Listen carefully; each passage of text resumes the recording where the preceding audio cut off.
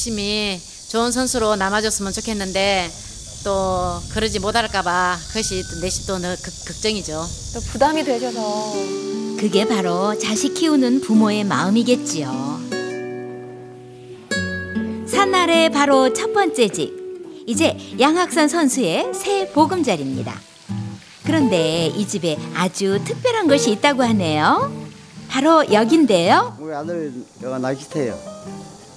낚시터요? 어, 우리 아들 오면 여기 낚시해. 고기 엄청나지 말도 못하지. 물 받나 고기 받나 하나 될 거예요. 낚시 그러면 저 양선수 와서 한 적 있어요? 어 와서 밤내. 아들에게 선물 받은 집 한켠에 아들을 위한 공간을 만든 아버지. 하룻밤에 꿈 같은 시간을 보내고 아들이 머물렀던 자리에 이제 아버지는 빈 낚싯대를 채웠습니다. 양학선 선수에서 아들 양학선으로 돌아오는 그날을 기다리며 말이죠. 집, 그리고 가족. 가난을 함께 버텨온 형제는 그 오해가 또 하나의 금메달감이라고 합니다.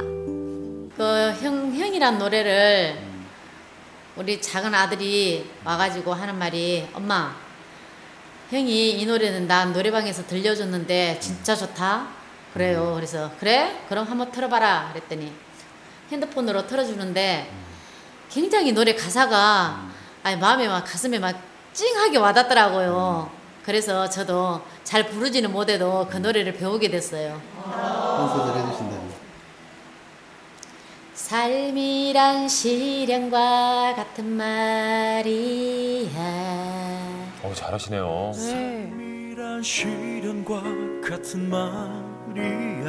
나이 스물하나. 고통과 시련을 이겨내고 세계 정상에 우뚝 선 양학선. 형도 그랬단다. 죽고 싶었지만 견뎌. 보니 괜찮더라. 이제는 내 자식이 아니라 국가의 자식이 됐으니까 더 큰 인물이 됐어. 더 좋은 일도 많이 하고 학선이도 그러고 지금 형도 그러고 세상에 두, 두, 두 아들이 다 밝게 다 자라줘서 너무너무 감사해요. 남한테 보답하고 또 자기가 그만큼 받은 것을 다시 돌려줄 수 있는 사람이 됐으면 어떤 집인가 보다 중요한 건 어떻게 사느냐가 아닐까요? 양학선 선수 가족들의 앞날을 더욱 응원합니다. 네, 양학선 선수가 금메달 따면은 꼭 그 집 선물을 해주고 싶다고 했을 때 참 뭉클했거든요. 양학선 선수의 꿈이 잘 이루어져서 아주 뿌듯합니다. 새 보금자리에서 행복하길 바랄게요. 네, 입주 정말 축하드리고요. 이렇게 효심 깊은 아들을 두시는 양학선 선수의 부모님, 어찌 아들 바보가 안 될 수 있겠습니까? 그런데 여기 세상 또 둘도 없는 아내 바보가 한 분 또 계신다고 하는데요. 지금 바로 신논문가에서 만나보시죠. 행복한 귀농 생활을 전하는 신농부가 오늘은 경상북도 상주를 찾아왔는데 반갑습니다. 저는 모동면 정량리에 사는 복숭아 농사와 꽃꽃 농사를 짓는 꽃간장입니다. 반갑습니다. 안녕하세요. 저는 아내 덕분에 직업을 세 번 바꾸고 이래 이모자 인생을 살아가는 최영무라 합니다. 반갑습니다. 아내 바라기 남편과 복숭아 바라기 아내 알콩달콩 귀농 생활기입니다.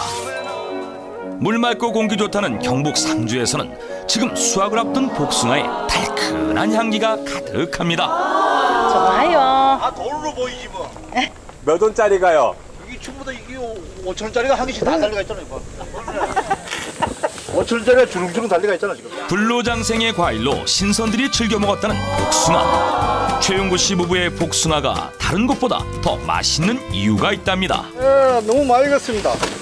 당도가 좋아요. 아이고 당도도 좋고 막. 당도 엄청 좋습니다. 여는 반나 기온차가 심해가지고 아주 당도가 상당히 좋습니다. 여 고랭지거든. 완전 유기농은 아니지만 유기농 90%는 유기농이지. 소분 비료가 바로 맛있는 복숭아의 두 번째 비결. 저게 다 뭐예요? 아 우리 먹이는 토종 병아리.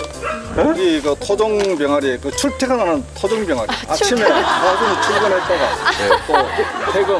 그렇군요. 되면 또 집으로 퇴근하는 출퇴근 직장이